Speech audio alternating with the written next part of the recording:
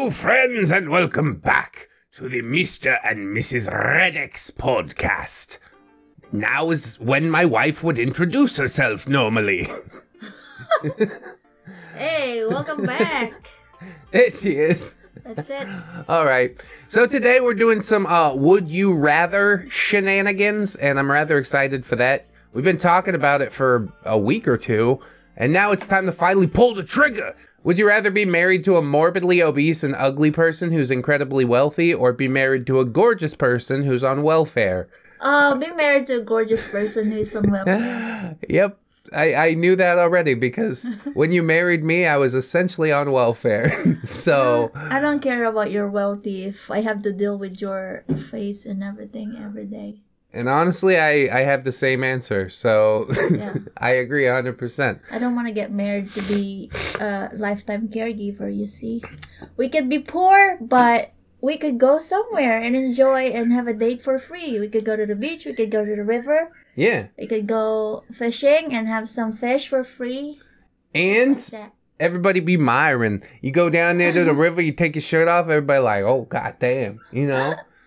But nice. it says morbidly obese. Maybe they, your that is gonna uh, that person is gonna die soon. So probably you get super rich after. But yeah, if I get to pick, I go for the, you know. yeah, assume assume you love this person. Like, don't Oh. assume that you want them to die. it's probably not the way to look at it. Well, it's so hard to love a person if you have a you know, if you have a preference. So I go for the second one. Yeah, your preference is, is people who aren't morbidly obese. And I think that's a fine preference to have. And 78% of people would marry a gorgeous person. Yep. That that that fat phobia, right guys? You live on welfare, but you see, you can eat him every day. Yum. I mean, I yeah. mean, yeah. The it doesn't say the morbidly obese person couldn't like work on themselves, but I don't know, man. You got like poor June. You you good, fam? All I'm saying is the morbidly obese person could work on themselves, you know? And um We're talking about like 800 pounder people. that's okay. They can do it. Get up. Get up and and get out before we have to bury you in a piano box. I'm serious. this is for real. Uh, I started losing weight because I realized I was getting bigger, and I'm like, nah, it can't go this way. Plastic surgery. Plastic surgery? Oh, yeah, well, if you want. I'll have different kinds of surgeries. I'll, I'll put some hair back in my head.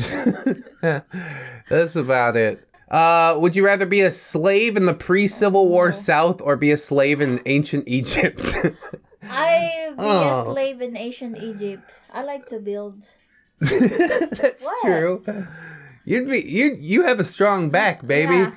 I would carry shit and build a tower or something like Well, that. you also like gardening.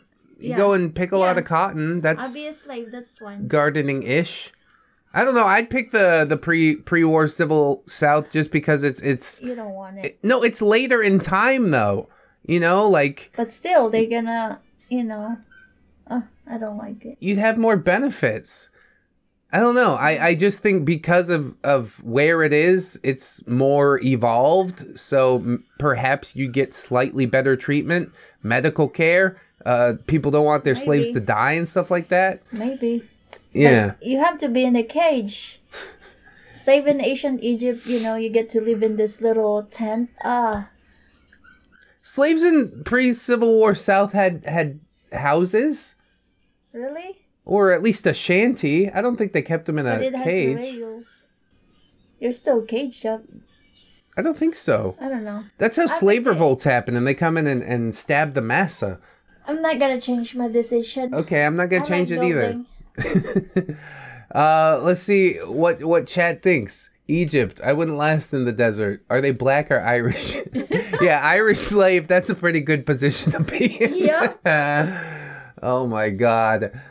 Really tough question. Yeah, nobody wants to be a slave either way, but um uh, it seems like we're we're all split down the middle. So let's just see what the results are. Oh. 63% said pre-war civil pre-civil war south 37% said ancient egypt And and yeah, in the desert, back in time where where yeah, they didn't even have decent medical care.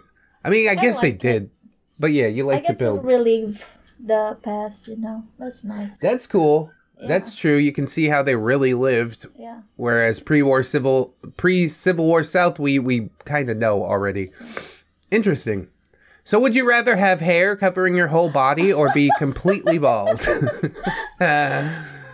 Entire body pass. I go for completely bald. i think i gotta say bald too because uh, it would be weird to walk around without eyebrows but it's a lot weirder to walk around with hair everywhere That's true. Wigs exist. everybody says bald nobody wants to have hair covering their body. Yeah. Oh my god. Even you shave it off, it's still gonna be there. Yeah, get your eyebrow pencil Yeah. on. You're gonna be good. 74% said bald. 26 maniacs said hair covering their their entire body. I don't understand. Then you're unique.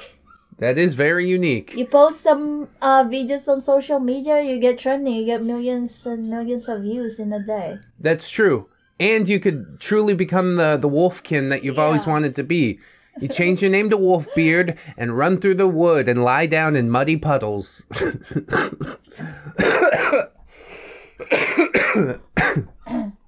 You're into Sasquatches? Is that water there? Yeah. Can I could I have some water? Yes. I'm very dry. What if the hairy people are donating it to the bald people? Great idea, June. yeah. There's enough to go around. I want you to wear my uh, body hair, baby.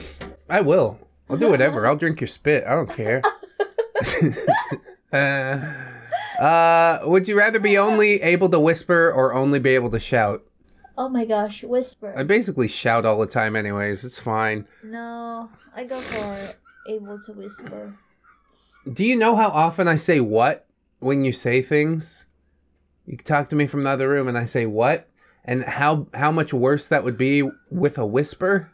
I don't know. Uh yeah, only be able to shout is like it's really irritating. This is why there's a lot of That's husband true. hates their wives that yak yaks all the time. like Arma like like imagining that every day. Can you Every imagine? day. Oh No. my gosh. Wifey has her days like that, but uh, thank God that's not every day. Uh, let's see. We've got whisper, whisper, shout, whisper, shout, whisper, shout. So I think whispers are out outnumbering by uh, Yeah. just by a little bit. I don't like loud. Danica says whispers command more respect. Yeah. Is that true? Nobody likes uh shouting. Just walk softly and carry a big stick and a megaphone. Yep, it's very irritating.